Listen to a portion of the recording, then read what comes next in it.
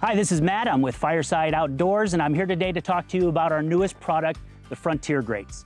You know, we have a lot of people who are already enjoying our pop-up pit, and they've contacted us and they've told us that they really wanted a way that they could use their Dutch oven to cook on our pop-up pit, and that's why we engineered the Frontier Grates. The Frontier Grates are made from 304 stainless steel, so you know they're gonna be sturdy.